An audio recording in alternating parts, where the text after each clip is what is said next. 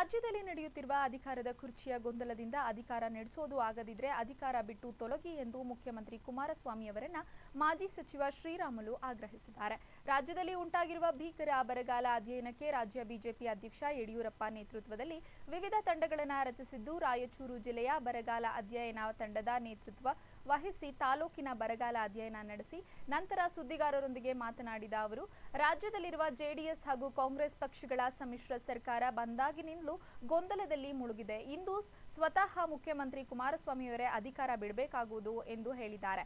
ಅಧಿಕಾರ ನಡೆಸುವುದಾದರೆ ಅಧಿಕಾರ ನಡೆಸಲಿ, ಇಲ್ಲವಾದಲ್ಲಿ ಅಧಿಕಾರ ಬಿಟ್ಟು ತೊಲಗಬೇಕು ಎಂದು ಆಗ್ರಹಿಸಿದ್ದಾರೆ. ಜಿಲ್ಲಾ ಪಂಚಾಯತ್ ಅಧ್ಯಕ್ಷೆ ಆದಿಮನಿ ವೀರಲಕ್ಷ್ಮಿ ಹಾಗೂ ಪರಮೇಶಪ್ಪ, ಬಿಜೆಪಿ ಮುಖಂಡರಾದ ಕೊಲ್ಲಾ ಶೇಷಗಿರಿರಾವ್ ಮಧ್ವರಾಜ್ ಆಚಾರ್ ಸೇರಿದಂತೆ ಮತ್ತಿತರರು ಇದೇ ಸಂದರ್ಭದಲ್ಲಿ ಹಾಜರಿದ್ದರು ತಾಲೂಕಲ್ಲಿ ಪ್ರಾರಂಭ ಮಾಡಿ ಇವತ್ತು ರಾಯಚೂರು ಜಿಲ್ಲೆಯಲ್ಲಿ ಬರ ಅಧ್ಯಯನಕ್ಕೋಸ್ಕರವಾಗಿ ನಮ್ಮ ತಂಡದ ನಾಯಕರೆಲ್ಲರೂ ಕೂಡ ಸೇರಿಕೊಂಡು ಅಧ್ಯಯನವನ್ನು ಮಾಡ್ತಾ ಇದ್ದೀವಿ. ಬೆಳಿಗ್ಗೆ ಕೂಡ ನಾನು ರಾಯಚೂರು ರಾಯಚೂರು ಗ್ರಾಮಾಂತರ ಪ್ರದೇಶದಲ್ಲಿ ಎಲ್ಲ ಕಡೆ ಹೋಗಿ ಹೊಲಗದ್ದೆಗಳಿಗೆ ಹೋಗಿ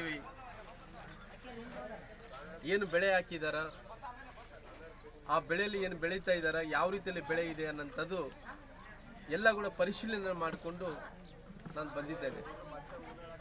ಪ್ರಾಯಶಃ ನನಗೆ ಗೊತ್ತಿರೋ ಪ್ರಕಾರ ನಮ್ಮ ಹೈದರಾಬಾದ್ ಕರ್ನಾಟಕದಲ್ಲಿ ಆರು ಜಿಲ್ಲೆಗಳಲ್ಲಿ ಸಂಪೂರ್ಣವಾಗಿ ಬೆಳೆ ನಷ್ಟ ಆಗಿದೆ. ಟೋಟಲಿ ಡ್ರಾಟ್ ಅಂತೇಳಿ ಸರ್ಕಾರ ಡಿಕ್ಲೇರ್ ಮಾಡಿದೆ. ಇಡೀ ಕರ್ನಾಟಕ ರಾಜ್ಯದಲ್ಲಿ ನೂರ ಐವತ್ತೆಂಟು ತಾಲೂಕುಗಳು ಡ್ರಾಟ್ ಅಂತೇಳಿ ಡಿಕ್ಲೇರ್ ಮಾಡಿದೆ. ಸರ್ಕಾರ ಇಲ್ಲಿ ತನಕ ಆಗಿದೆ, ಯಾವುದೇ ಅನುದಾನವನ್ನು ಕೊಡೋಂಥ ಕೆಲಸ ಆಗಲಿಲ್ಲ. ಒಂದೊಂದು ತಾಲೂಕಿನ ಐವತ್ತು ಲಕ್ಷ ರೂಪಾಯಿನ ಕೊಟ್ಟಿದ್ದೆ ಅದು ಸರಿ ಹೋಗ್ತಾ ಇಲ್ಲ ಅನ್ನೋಂಥದ್ದು ಭಾಳಷ್ಟು ಕಡೆ ಇದ್ದರೂ ಕೂಡ ನಾವು ಇವತ್ತು ಕರ್ನಾಟಕದ ರಾಜ್ಯದಲ್ಲಿ ಏನು ವಿರೋಧ ಪಕ್ಷದಲ್ಲಿ ನಾವು ಕುಂತಿದ್ವೋ, ನಾವು ಎಲ್ಲ ಒಂದು ಕಡೆ ರೈತರಿಗೆಲ್ಲರೂ ಕೂಡ ಗುಳೆ ಹೋಗೋದನ್ನು ತಪ್ಪಿಸ್ಬೇಕು, ರೈತರಿಗೆಲ್ಲರೂ ಕೂಡ ಕುಡಿಲಿಕ್ಕೆ ನೀರು ಕೊಡಬೇಕು, ಜಾನುವಾರುಗಳಿಗೆ ಮೇವು ಕೊಡಬೇಕು, ಗೋಶಾಲೆಗಳನ್ನು ತೆಗಿಬೇಕು ಆದಷ್ಟು ಬೇಗನೆ ಫ್ಲಡರ್ ಇದು ಹುಲ್ಲು ಕೊಡಬೇಕು, ಮೇವು ಕೊಡಬೇಕನ್ನಂಥ ಉದ್ದೇಶದಿಂದ ಈ ಎಲ್ಲ ವರದಿಯನ್ನು ರಾಜ್ಯಾಧ್ಯಕ್ಷ ಅಂತ ಸನ್ಮಾನ್ಯ ಯಡಿಯೂರಪ್ಪನವ್ರಿಗೆ, ನಂತರ ಚೀಫ್ ಸೆಕ್ರೆಟರಿಗೆ ಮುಖ್ಯಮಂತ್ರಿಗಳಿಗೆ ಒಪ್ಪಿಸೋಂಥ ಕೆಲಸ ನಾಳೆ ಅಧಿವೇಶನ ನಡೆಯುವಂಥ ಟೈಮಲ್ಲಿ ನಾನು ವಿನಂತಿಯನ್ನು ಮಾಡಿ ಅಧಿವೇಶನದಲ್ಲಿ ಒಪ್ಪಿಸೋಂಥ ಕೆಲಸ ಮಾಡ್ತೀನಿ. ವಿಶೇಷವಾಗಿ ಇವತ್ತು ಸರ್ಕಾರದಲ್ಲಿ ಭಾಳಷ್ಟು ಗೊಂದಲ ಇದಾವೆ.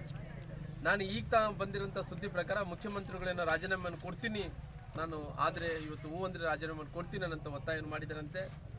ಇವತ್ತು ಇವೆಲ್ಲ ನೋಡ್ತಾ ಇದ್ರಿಗಿನ ಪ್ರಾಯಶಃ ಮುಖ್ಯಮಂತ್ರಿಗಳಂತ ಕುಮಾರಸ್ವಾಮಿ ಅವರ ರಾಜೀನಾಮೆಯನ್ನು ಕೊಟ್ಟು ಕುರ್ಚಿಯನ್ನು ಬಿಟ್ಟು ತೊಲಗಲಿ ಅಂತೇಳಿ ಒತ್ತಾಯ ಕೂಡ ನಾನು ಮಾಡ್ತೀನಿ. ಯಾಕಂದ್ರೆ ಒಂದು ಒಂದು ಕಡೆ ತೀವ್ರವಾದಂಥ ಬರಗಾಲ, ಒಂದು ಕಡೆ ಜನರೆಲ್ಲರೂ ಕೂಡ ಈ ಸಂಕಷ್ಟದಲ್ಲಿರುವಂಥ ಪರಿಸ್ಥಿತಿಯಲ್ಲಿ ದನಕರಗಳಿಗೆ ಮೇವಿಲ್ಲ, ಕುಡಿಲಿಕ್ಕೆ ನೀರಿಲ್ಲಾರ್ದಂಥ ಸಂದರ್ಭದಲ್ಲಿ ಇವತ್ತು ಏನು ಈ ಕೃಷಿ ಸಲುವಾಗಿ ಏನು ಇವತ್ತು ರಾಜಕಾರಣ ನಡೀತಾ ಇದೆ ನಾವು ಭಾಳಷ್ಟು ಶೋಚನೀಯ ಸಂಗತಿ ಆಗಿದೆ. ಅದಕ್ಕೋಸ್ಕರವಾಗಿ ಮುಖ್ಯಮಂತ್ರಿಗಳು ಆದಷ್ಟು ಬೇಗನೆ ಇವತ್ತು ನಿಮ್ಮ ಅಸಮಾಧಾನ ಬುಗುಲೆತ್ತಿದೆ, ಅಸಮಾಧಾನ ಕುದೀತಾ ಇದೆ. ಶಾಸಕರು ಯಾರು ಕೂಡ ಕಾಂಗ್ರೆಸ್ಸಿನ ಶಾಸಕರು ಜೆ ಡಿ ಎಸ್ ಶಾಸಕರು ಕೊಳಪಟ್ಟಿಟ್ಕೊಂಡು ಜಗಳ ಮಾಡ್ಕೊತಾ ಇದ್ದಾರೆ ಹಂಗಾಗಿ ದಯವಿಟ್ಟು ನಿಮ್ಗೆ ಅಧಿಕಾರ ನಡ್ಸೋಕ್ಕಾಗಲ್ಲ ಅಂದ್ರೆ ಬಿಟ್ಟು ಹೋಗ್ರಿ. ಅದನ್ನ ಯಾಕೆ ಅಂಟ್ಕೊಂಡು ಕುಂತಿದ್ರಿ? ನಮಗೆ ಮುಖ್ಯಮಂತ್ರಿಗಳು, ಸಿದ್ದರಾಮಯ್ಯರ ಮುಖ್ಯಮಂತ್ರಿಗಳು. ಕುಮಾರಸ್ವಾಮಿಯರ ಮುಖ್ಯಮಂತ್ರಿಗಳು ಅಲ್ಲಂತೆ ಸಿದ್ದರಾಮಯ್ಯರ ಮುಖ್ಯಮಂತ್ರಿಗಳಂತೆ.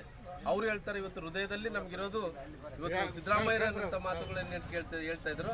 ಅದಕ್ಕೆ ದಯವಿಟ್ಟು ಈ ಸರ್ಕಾರದಲ್ಲಿ ಎಲ್ಲಿ ಯಾವುದು ಕೂಡ ಸರಿ ಇಲ್ಲ ಅನ್ನೋಂಥದ್ದು ಭಾಳ ಸ್ಪಷ್ಟವಾಗಿ ಗೊತ್ತಾಗ್ತಿದೆ ಶಾಸಕರು ಶಾಸಕರು ಕೊಳಪಟ್ಟಿ ಹಿಡ್ಕೊಂಡು ಕುಡಿದು ನಿಷೇಧದಲ್ಲಿ ಹೊಡ್ಕೊತಾ ಇದ್ದಾರೆ. ಇವತ್ತು ಬರಗಾಲ ಪರಿಸ್ಥಿತಿಯಲ್ಲಿ ಯಾರು ಕೂಡ ಮಂತ್ರಿಗಳು ಇವತ್ತು ಜಿಲ್ಲೆಯನ್ನು ಬಿಟ್ಟು ರಾಜ್ಯವನ್ನು ಬಿಟ್ಟು ಬರುವಂತ ಪರಿಸ್ಥಿತಿಯಲ್ಲಿ ಇಲ್ಲ. ಹಂಗಾಗಿ ನಾನು ಸರ್ಕಾರವನ್ನು ಒತ್ತಾಯ ಮಾಡ್ತಾ ಇದ್ದೀನಿ.